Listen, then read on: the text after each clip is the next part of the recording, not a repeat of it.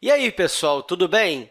Nessa aula, nós vamos estudar os movimentos da Terra e as consequências desses movimentos. E como nós sabemos, os principais movimentos da Terra são os movimentos de rotação e translação. E o primeiro que eu vou falar aqui é o movimento de rotação, e o movimento de rotação da Terra é o giro que o planeta realiza ao redor de si mesmo, ou seja, ao redor do seu próprio eixo. E eu posso dizer que este movimento ele dura aproximadamente 24 horas. Para ser mais exato, eu posso colocar aqui 23 horas e 56 minutos. E é interessante eu colocar aqui que essa rotação acontece de leste para oeste. E um outro movimento importante é o movimento de translação. E eu posso dizer que é o movimento que a Terra realiza ao redor do Sol junto com os outros planetas. Em seu movimento de translação, a Terra percorre um caminho ou órbita que tem a forma de uma elipse.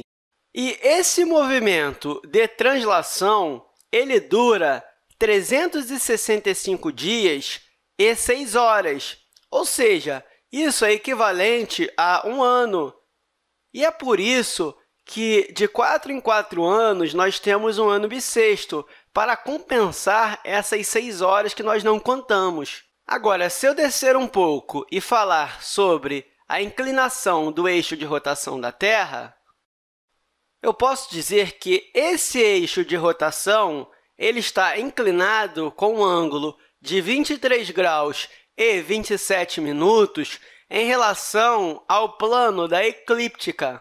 Ou seja, esse ângulo aqui ele vale 23 graus e 27 minutos. Ok, mas o que é plano da eclíptica?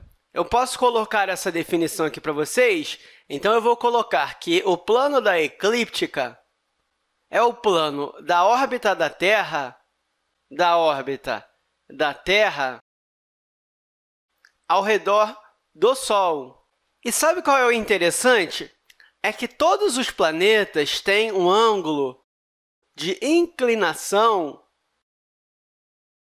em relação ao Sol. Mas, claro, a inclinação do eixo de rotação da Terra ela tem a ver com a origem do Sistema Solar. Mas eu não vou me aprofundar muito nisso, não. Eu vou descer um pouco aqui e nós vamos falar sobre o eixo de rotação da Terra e comparar com o eixo de rotação de Mercúrio.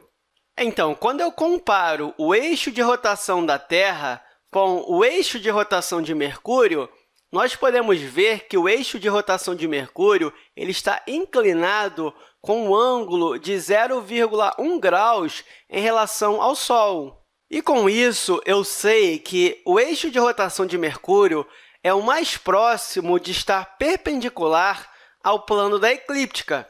Então, eu posso colocar aqui, eu acredito que você já saiba isso, que Mercúrio é o planeta mais próximo do Sol. E uma segunda informação é que Mercúrio tem uma órbita inclinada em relação aos outros planetas. E a inclinação do eixo de rotação da Terra traz algumas consequências para o planeta. Eu vou mudar de tela aqui para nós vermos algumas dessas consequências. Então, a primeira consequência que eu vou ver aqui é o dia e a noite. O dia e a noite acontecem devido à inclinação do eixo de rotação da Terra, correto? Então, o que acontece é que os raios solares que atingem a Terra eles não atingem com a mesma intensidade todos os locais. Ou seja, eles não atingem com a mesma intensidade desse lado do que desse lado.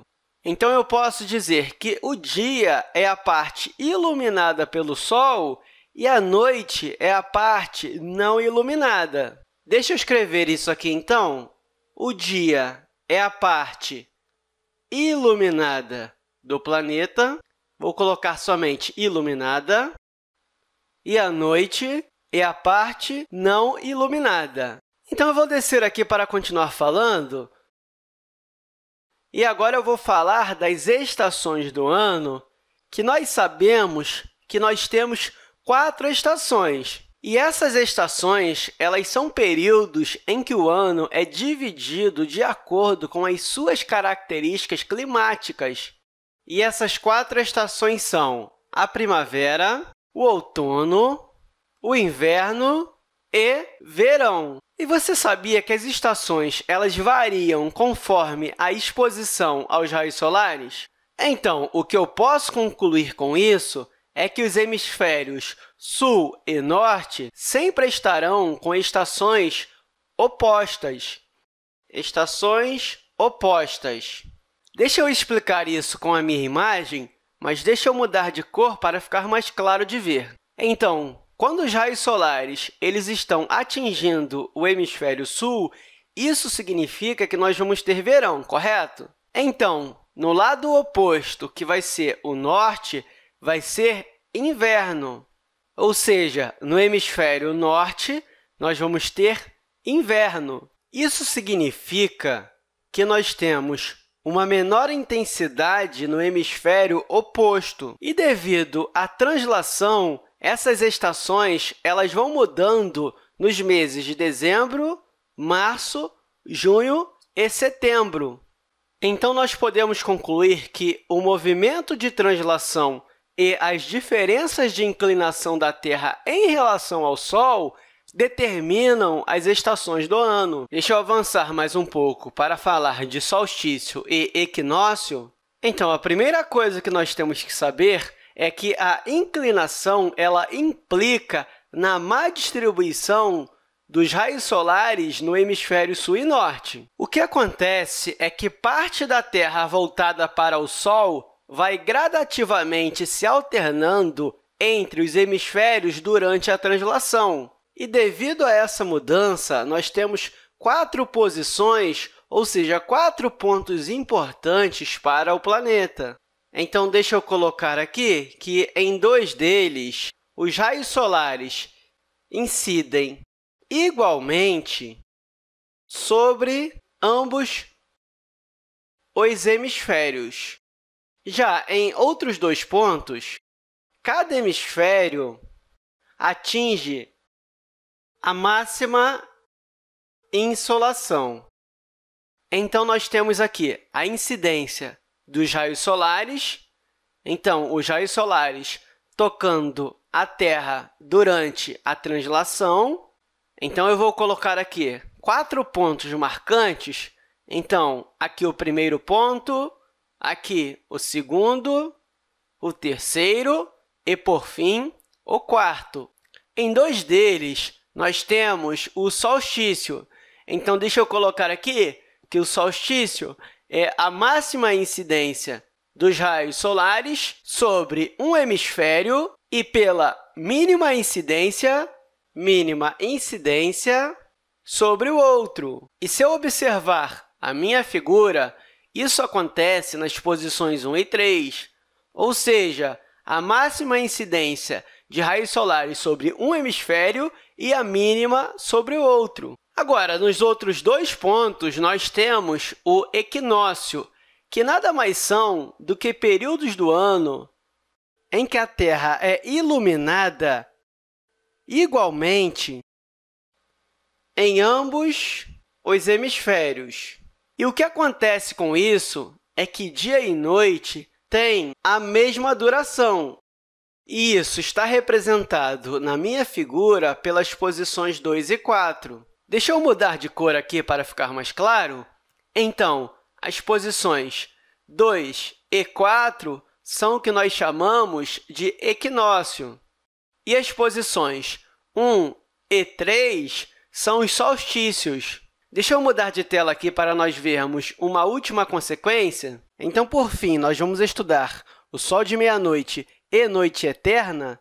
Então, o Sol de meia-noite nada mais é do que o Sol sendo visível 24 horas por dia. Então, deixa eu colocar isso aqui, que o Sol é visível por 24 horas do dia nas datas próximas ao solstício de verão.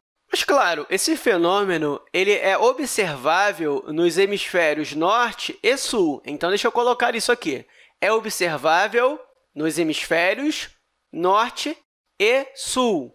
Mas eu quero deixar claro que isso ocorre devido à inclinação do eixo de rotação da Terra. Então, deixa eu colocar aqui, ó, ocorre devido à inclinação do eixo de rotação da Terra.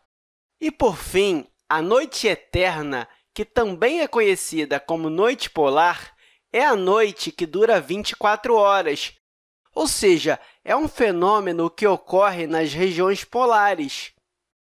Podemos dizer que é o oposto do Sol de meia-noite. É o oposto do Sol de meia-noite. Bem, pessoal, nessa aula nós vimos algumas consequências dos movimentos da Terra, sendo que os principais deles são o movimento de translação e rotação. Então, é isso aí, pessoal. Eu vou ficando por aqui e até a próxima aula!